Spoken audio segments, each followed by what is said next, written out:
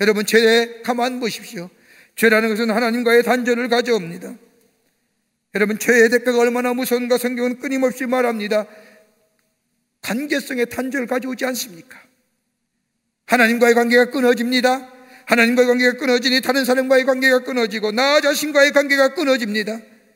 하나님이 우리 삶의 모든 것의 공급원이었는데 하나님과의 관계가 죄로를 말미암아 단절되니 이 땅에 살아가면서 필요한 힘이 사라지고 능력이 사라지고 내 안에 믿음이 사라지고 소망이 사라지고 사랑이 끊어지지 않았습니까? 믿음이 사라진 우리 안에 불신이 찾아오고 사랑은 있는 것 같은데 그 사랑이 변질되어 이기적이고 탐욕적인 사랑으로 전락해버리지 않았습니까? 하나님 주시는 소망이 사라지니 우리 안에 아무런 소망 없이 그저 그저 하루하루 살아가는 존재가 됩니다. 하나님으로부터 공급받은 것이 다 사라지니 갈증과 갈급함이 우리 안에 생겨납니다. 이걸 채우기 위해서 얼마나 노력합니까?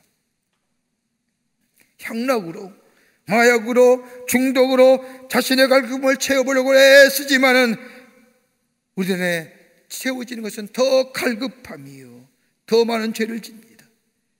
철학이나 도덕이나 윤리나 그 밖의 자선사업을 통하여 내 자신의 갈급함을 채워보려고 하지만은 채워지지 않는 이 갈급함과 공허함 왜요?